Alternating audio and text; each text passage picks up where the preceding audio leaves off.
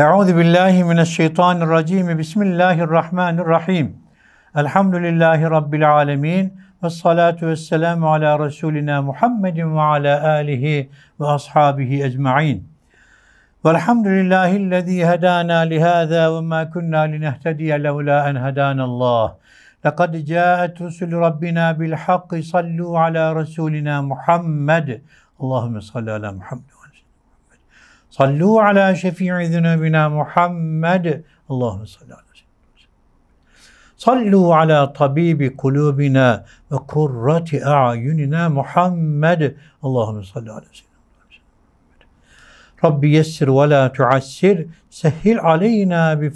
ya müyessir. Rabbi zidna ilmen ve fehmen ve ihlasan ve nuran ve elhikna bis salihin. Amin ya mu'in. Allahümme allimna ma yenfa'una ve enfa'na bima allemtena. Amin. Bi hurmeti seyyidil muselin. Sallallahu teala aleyhi ve sellem. Cenab-ı Hak Celle Celaluhu cümlemizi, analarımızı, babalarımızı, hocalarımızı, dua bekleyen bütün Müslüman kardeşlerimizi affı mağfiret eylesin. Ölmüş olanlarına rahmet eylesin. Hayatta olanlarına sıhhat, afiyetler, hayırlı uzun ömürler ihsan etsin. Cenab-ı Hak Celle Celaluhu hepimizi, evlatlarımızı, neslimizi, zürriyetimizi damatlarımızı, gelinlerimizi imandan, Kur'an'dan, İslam'dan, camiden, cemaatten ayırmasın. Amin, amin, amin. Evet, elhamdülillah yine sizinle beraber bir hadis dersinde buluştuk. Şükürler olsun.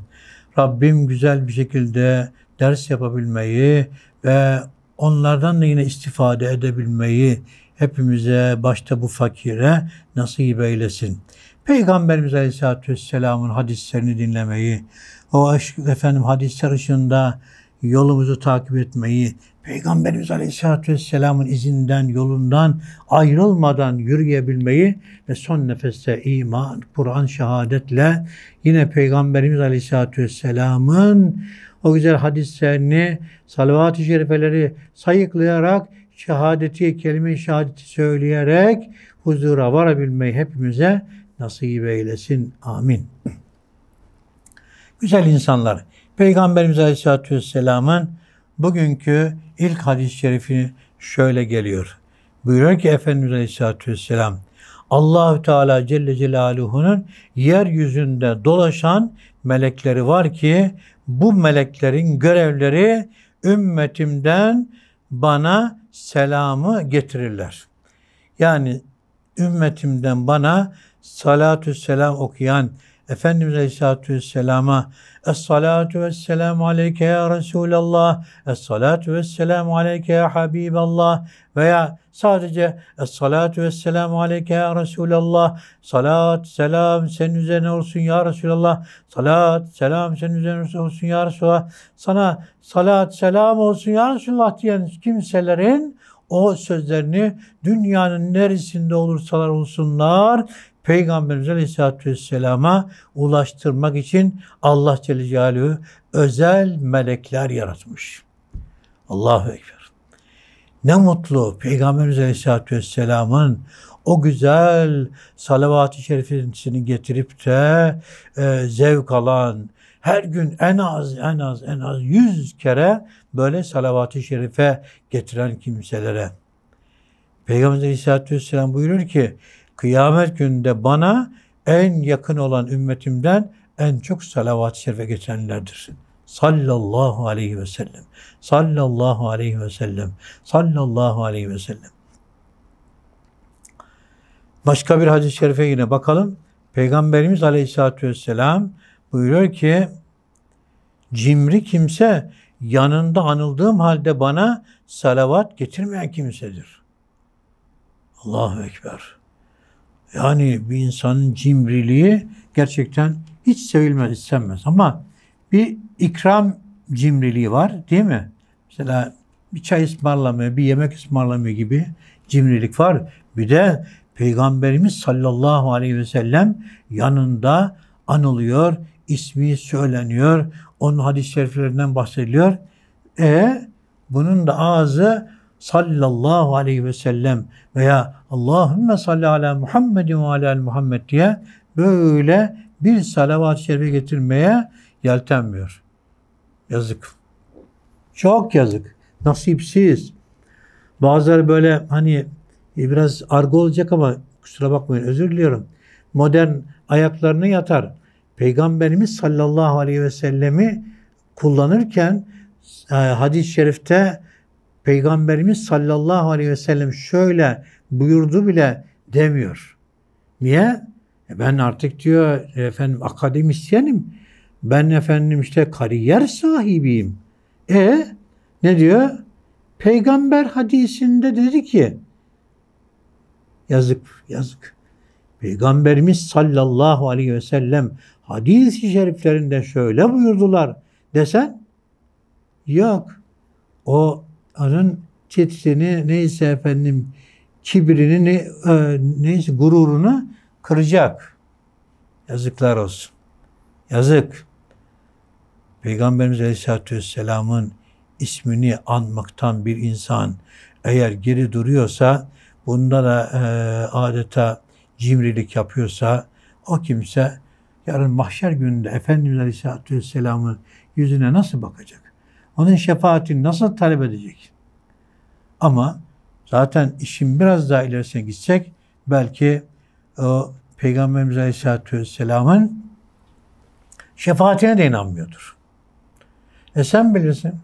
Sen bilirsin. Allah'ım bizi Peygamberimiz Aleyhisselatü Vesselam'ın yolundan ayırmasın, izinden ayırmasın, şefaatini kazanabilmeyi nasip eylesin. Biz buna efendim gönülden hem inanıyoruz hem de muhtaç olduğumuzu kabul ediyoruz. Peygamberimiz sallallahu aleyhi ve sellem için Allah'ımız Celle Celaluhu Kur'an-ı Hakiminde buyurmuyorlar mı? Estaizu billah, Bismillah. İnna Allahe ve melâiketehu yusallûne alen nebi. Şüphesiz ama şüphesiz muhakkak Allah ve melekleri peygambere salat ederler. Yani allah Teala Celle Celaluhu Peygamberimiz sallallahu aleyhi ve sellemin o derecesini yükseltmiş, yükseltmiş, yükseltmiş. Efendim kendisine salat ettiğini haber veriyor. Melekler duacı. Peygamberimiz Aleyhisselatü Vesselam'ın yeri bir başka. Kainatın efendisi Hazreti Muhammed sallallahu aleyhi ve sellem. Ya eyyühellezine amenu sallu aleyhi ve sellimu teslima. Ey iman edenler siz de peygambere salat ve selam edin. Allahümme salli ala seyyidina Muhammed Kema salleyte ala İbrahim ve ala ali İbrahim. İnneke hamidun mecid. Allahümme barik ala Muhammed ve ala Muhammed. Kema barakte ala İbrahim ve ala ali İbrahim. İnneke hamidun mecid. Şöyle bir grup kardeşlerimiz kurmuşlar. E, bu fakiri de onun içerisine almışlar. E, adını da Salavat Kardeşliği adı altında böyle e, WhatsApp'tan bir grup. Elhamdülillah bir bakıyoruz. Her gün insanlar durumlarına göre kimisi 500, kimisi 300, kimisi 200, kimisi 100 salavat-ı şerife okudum diye elhamdülillah e, diye böyle Allah'a hamd ederek o salavat kardeşliğini devam ettiriyor. Biz de böyle bir kardeşlik grubu, salavat kardeşliği, hatim grubu, efendim e, Kur'an-ı Kerim kardeşliği diye kuralım. Yani bu telefonlarımız, bu WhatsApp grupları falan bu işe yarasın. Ne güzel olur elhamdülillah. Allah hepinizden razı olsun. Rabbim inşallah bu salavat-ı şerife kardeşliğimizde, Kur'an kardeşliğimize, sohbet kardeşliğimize efendim beraber bizi e, yarın mahşer gününde e, iyi ki birbirimizi tanıdık elhamdülillah deyip de cennete ilk girenlerle beraber girebilmeyi Peygamberimiz Aleyhisselatü Vesselam'a komşu olabilmeyi hepimize, analarımıza, babalarımıza ve bizlerden dua bekleyen bütün kardeşlerimize de nasip etsin inşallah. Amin. Gelelim diğer hadis-i şerifimize. Peygamberimiz sallallahu aleyhi ve sellem buyuruyor ki gece ve gündüz melekleri vardır ki Allahu Teala Celaluhu bu meleklere görev olarak dönüşümlü olarak siz kullarımın arasında dolaşın diyor. Melekler bu dönüşümlü olarak kulların üzerinde dolaşan melekler buyuruyor ki Efendimiz Aleyhisselatü Vesselam sabah ve ikindi namazlarında buluşurlar. Yani nöbet teslimi gibi. Sabah namazında bir buluşuyorlar. Diyelim ki buluşan sabah namazında e, ikindi namazına kadar görev yapacak. İkindi namazında görevi terk edecek. Görev yapmayanlar ikindi namazını görev aldıktan sonra sabah namazına kadar görev yapacaklar. Sonra diğerleri tekrar gelecek görev başına. Böyle dönüşümlü devam ediyor. Diyor sevgililer sevgisi önderimiz, liderimiz Hz. Muhammed sallallahu aleyhi ve sellem. Sonra diyor Efendimiz Aleyhisselatü Vesselam gece boyu bizimle beraber olan melekler yükselirler. Allah katına ve tabi biz oraya bilemeyiz. Oraya efendim mekandan münezzeh olarak sadece hadis-i şerifi nakletmiş olalım biz. Ondan sonra Allah Celle Celaluhu kullarının durumlarını çok iyi bildiği halde meleklere insanları sorarlar. Neyi soruyor Mevlamız? Siz ayrıldığınızda kullarım ne yapıyordu? Meleklerin verdiği cevap çok ilginç. Ya Rabbi, yanlarına vardığımızda da, oradan ayrıldığımızda da namaz kılıyorlardı derler. Yani gittiğimiz zaman namaz kılıyorlardı. Görevi bıraktık, namaz kılarken bıraktık. Tekrar geldik, yine namaz kılıyorlardı. Böyle dönüşümlü olarak sabah ve ikindi namazlarında melekler şahitliğinde namazlar kılmış oluyor. Elhamdülillah. Onun için buyurulmuş ya hadis-i şerifte men sallel berdeyni dehalel cennet. İki namazı kılan cennete girer. Soğuk namazı. İki soğuk namazı kılan. Öbürleri kılınacak. Beş vakit namaz var. Ama iki tanesi soğuk namazlar. Ve efendim bu namazları kılan öbürlerini rahat rahat kılabilir. Birisi sabah namazı, diğer de ikindi namazı. Sabah namazın soğukluğu zaten belli, mübarek. Zır böyle havalar çok sıcak. Ondan sonra kapılar, bacalar her taraf açık ama geç yatmışız. Sabah erken efendim kalkmamız lazım. Her baba yiğit kalkamıyor. Kalkıyorsak elhamdülillah. Kalkamıyorsak ya Rabbi yardım eyle kalkalım diye dua edelim.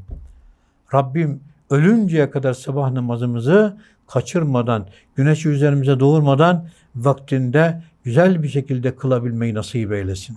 Amin, amin, amin. Bize sadece değil, çocuklarımıza da nasip etsin, torunlarımıza, neslimize, zürriyetimize nasip eylesin, damatlarımıza, gelinlerimize nasip eylesin. Peygamberimiz sallallahu aleyhi ve sellem o kadar titrerdi ki namaz hususunda namaz, namaz, namaz derdi. Namazla ilgili Allahu Teala Celaluhu e, ayet gönderince Estağfirullah ve emur ehleke bis salati ve stabir aleyha.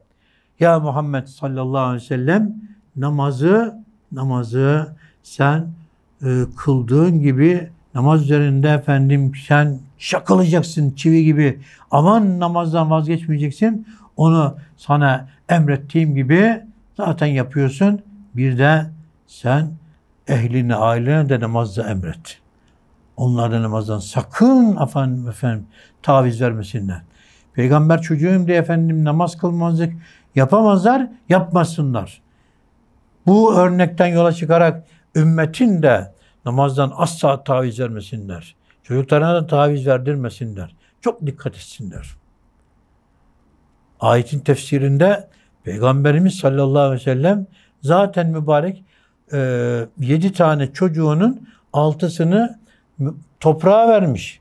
Bir tane kızı Fatıma annemiz hayatta. O da Hazreti Ali ile evli. Allah'ımız Celle Celaluhu çocuklarına namaz emret, ehline namaz emret diye buyurunca bu ayeti uygulamak için evli olan kızının sabah namazında 6 ay evine gidiyor. Kızım namaz, namaz diye onları kaldırıyor. Sonra tekrar cemaate geliyor. Cemaatle namazını kılıyor. Çocuklarımız evlense dahi evimizden çıktılar. Biz onların namazlarını takip edeceğiz. Örtülerini takip edeceğiz. Aman kızım diyeceğiz. Aman evladım diyeceğiz. Aman yavrum diyeceğiz. Rabbim istikametten ayırmasın. Rabbim onları da efendim korusun, muhafaza eylesin. Çok kötü bir gidişat var. Dışarısı yanıyor. Yani Rabbim torunlarımızı, e, geleceğimizi, neslimizi korusun, muhafaza eylesin. Yani çocuklar bizim olarak kalsınlar.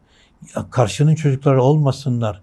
Kılık kıyafetleriyle, düşünceleriyle, davranışlarıyla.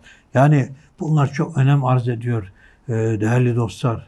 Hakikaten Allah'ımıza emanet çocuklarımız, neslimiz, zürriyetimiz. Biz onları koruyamayız, kayıramayız. Allah koruması lazım Celle Celaluhu. O korursa olay biter yani. Biz kendimize kalırsak başaramayız. Görüyorsunuz yani. Efendim anne çok harika bir şekilde İslam örtüsünde kızına bakıyorsun İslam'la alakası olmayan bir örtü takıyor.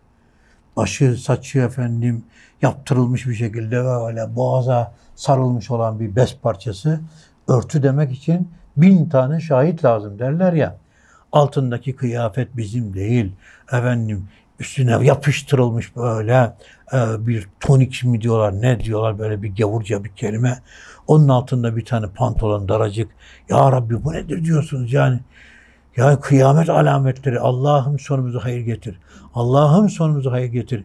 Her türlü efendim sıkıntılardan, çirkinliklerden bizi muhafaza eyle. Dolayısıyla ne diyor büyüklerimiz? Aman çocuklarımıza kılık kıyafetlerinde kız çocuklarımız, erkek çocuklarımız daha küçükten onlara bol giydirelim. Efendim dar giydirmeyelim çünkü onlar büyüdüklerinde ki efendim alıştıklarını devam ettireceklerdir. Ağacı yaşken eğmek lazım. Allah hepimize yardım eylesin. Sakın demeyin namazdan nasıl geldiniz bu konuya diye. İçimiz yanıyor. Yani dışarıya çıktığımız zaman şu toplum içerisinde çok affedersiniz yani bir göbeğini gösteren kız çocuğunu insan görünce efendim e, dışarılarda e, şaşırıp kalıyorsunuz. Ya bunun babası yok mu, abisi yok mu, kocası yok mu, ne bileyim işte efendim yok mu yok mu diyorsunuz ya. Kim dur diyecek yani bu gidişat iyi değil, efendim doğru değil, bize ait değil. Korona da bizi durduramıyor. Depremler bizi durduramıyor. Bu kadar efendim vaaz nasihatler, ölümler oluyor bizi durduramıyor. Ne durduracak bizi yani? Allah hepimizi affeylesin. Allah Teala Celaluhu inşallah toparlanıp da tövbe edip de tekrar eski günlerimize dönmemizi nasip eylesin. Kalpler Allah'ın elindedir. İnşallah Rabbim çevirsin. Biz dua ediyoruz. Biz dua ediyoruz. Efendim Fatih'imiz e, kalksa başını kaldırsa şu camilerimizin dışında ondan sonra ezanlarımızın dışında bu kızlar falan gördüğünde ya ben burasını İslam bol diye bıraktım. Ondan sonra Bizanslıktan çıkarttım, emanet ettim, fethettim buraları İslam adına. E, böyle mi olacaktı bunlar demez mi bize? Onun için tekrar kendimize dönmemiz e, niyazıyla inşallah bu hadis-i şeriflerimizi de işlemiş oluyoruz. Bu çok e, güzel bir müjdeli haber. Yani gece ve gündüz bizlerin üzerinde dolaşan melekler var ve bu melekler görevlerini teslim ettiklerinde Allah katına çıktıklarında Allahu Teala Celaluhu bildiği halde bizim durumumuzu meleklerini şahit kılmak için onlara orada bir soru arz ediyor. Kullarımı nasıl bıraktınız diye Allah'ım biz kullarını gittiğimizde namaz kılarken bulduk ve ayrılırken de namaz kılıyorlardı. Elhamdülillah. Bu namazlarda hangileri? Sabah ve ikindi namazları. Öğleni rahat rahat Allah'ın izniyle kılarsın. Akşamını kılarsın. Yatsını kılarsın. Ama bu günlerde özellikle sabah namazını çok dikkate alalım. Ee, yaz aylarında sabah namazı geriye gidiyor, gidiyor, gidiyor, gidiyor, gidiyor mübarek. Öyle bir hale geliyor ki Yassıdan çıkıyorsunuz, evinize geliyorsunuz. E, saat 11.30-12 olmuş. Yatıyorsunuz. Sabahleyin saat 4.30'da ezanlar okunuyor. Yani e, zaten geceliğin kaç sefer kalkıyorsun, sıcaktan uyuyamıyorsun, efendim vesaire. Ama Allah bizi istiyor Celle Celaluhu. Ne olursa olsun biz Cenab-ı Hak Celle pazarlık yapamayız. Allahu Teala kulunu istediği gibi efendim kullanır ve ibadette görmek istiyor. Saatini o belirler. Yani e, uyduruktan, kaydırıktan, kıytırıktan bir maçın kurallarını belirleyenler var. Ondan sonra oyunun kurallarını belirleyenler var vesaire. E, maç 45 dakika, 45 dakika, 90 dakika oynanıyor. Aradaki efendim işte devre arası 15 dakika oluyor. Bunları değiştirmiyorlar. Bütün dünyada aynı kuralları konuluyor da efendim Allah'ın koymuş olduğu kurallara karşı ben nasıl efendim herhangi bir şekilde itirazda bulunabilirim? Allah beni o saatte görmek istiyorsa tamam ya Rabbi deyip de huzura çıkacağım. Sabah namazında ne buyuruyor? Efendim ezanda bize müezzinler e, sünnet olarak Peygamber Aleyhisselatü Vesselam'dan itibaren hep bu kalmış bize. Ve kıyamete kadar devam edecek. Es-salatu hayrun minen nevm. Namaz uykudan hayırlıdır. Namaz uykudan hayırlıdır. Kalk. Uyumaya gelmedik buraya. Buraya iş yapmaya geldik. Çalışacağız, ibadet edeceğiz. Allahu Teala Celaluhu'dan efendim bu noktada razı olmasını isteyeceğiz. Allah'ım razı oldu mu her şey bir tarafa. İstersek sürünelim bütün gün. Hiç önemli değil. Allah benden razı olmuş ya. Kulum seni gö- görmek istiyordum sabah namazında. Gördüm. Tebrik ederim. Teşekkür ederim. Yoluna devam et. Allahu Ekber. Bunu böyle yapacağız inşallah. Allah hepinizden razı olsun. Ee, ben sohbetimi bu duygu ve düşüncelerle beraber e, dua ile noktalamış olayım. Amin. Subhan rabbiyel aliyyil a'lel vehhab. Elhamdülillahi rabbil alemin. Ve salatu vesselamu ala Resulina Muhammedin ve ala alihi ve ashabihi ecmain. Ya Rabbel alemin ve ya rahimin. Günahlarımızı affeyle. Ahir ve akıbetlerimizi hayır eyle. Her türlü kazadan, beladan, depremden, afattan bizleri, ülkemizi ve İslam alemini muhafaza eyle. Ya Rabbi sana hamdü senalar olsun, şükürler olsun. Bizi hadis dersleriyle buluşturdun. İnşallah peygamberimizle buluştur.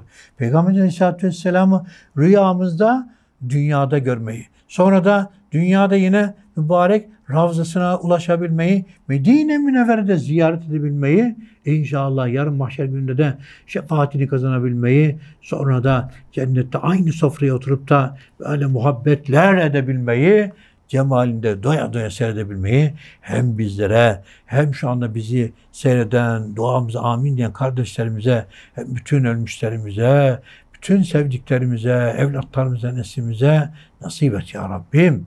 Amin. Allah'ım İslam alemine ve ülkemize yardım eyle. İslam alemine ve ülkemize yardım eyle. Ya Rabbi ülkemizi ve İslam alemini ekonomik yönden de en yüksek derecelere çıkar ya Rabbi. Kafirlerin, zalimlerin, hainlerin yaptığı oyunları kendine baştan çevir ya Rabbi. Dolarsa geçelim. Euro ise geçelim. İnşallah dünya satında, dünyada bir numara olmaya çalışalım. Ama sadece ekonomik değil, yanında da ibadetlerimizde, insanlığımızda, adaletimizde, bütün yeryüzüne götüreceğimiz örnek ahlakımızda da efendim en üst yerlerde olmaya çalışalım. Sen bizleri muvaffak eyle ya Rabbi. Evlatlarımızı da çok hayırlı eyle. Damatlarımızı, gençlerimizi hayırlı eyle. Evlenecek kardeşlerimize hayırlı eşler nasip eyle. İşi olmayanlara da hayırlı helalinden kazançlar, bereketli kapılar nasip eyle. Okulda okuyan kardeşlerimize hayırlı bir şekilde başarılar nasip eyle. Sınavlarında, diğer efendim çalışmalarında inşallah yavrularımızın çok iyi yerlere gelmelerini nasip eyle. Allah'ım ya Rabbi razı olacağın noktalarda bulunmayı ve sonunda da son nefeste de imanla, Kur'an'la, şehadetle huzuruna varabilmeyi nasip eyle. Ölmüşlerimize rahmet eyle. Ölmüşlerimize, iman geçmişlerimize, analarımıza, babalarımıza, büyüklerimize rahmet eyle. Kabirlerin nur makamlarını cennet eyle. Ve yine ya Rabbi bize de son nefeste iman, Kur'an nasip eyle. Amin, amin, amin. Es-salatu vesselamu aleyke ya Resulallah. Es-salatu vesselamu aleyke ya Habiballah. Es-salatu vesselamu aleyke ya seyyidel evveline vel ahirin. Subhanallah ve hamdihi. Subhanakallah ve hamdike. Eşhedü en la ilahe illa ente estağfirke ve etubu ileyk. Ve eşhedü enne Muhammeden abduhu ve resuluh. Velhamdülillahi Rabbil alemin. El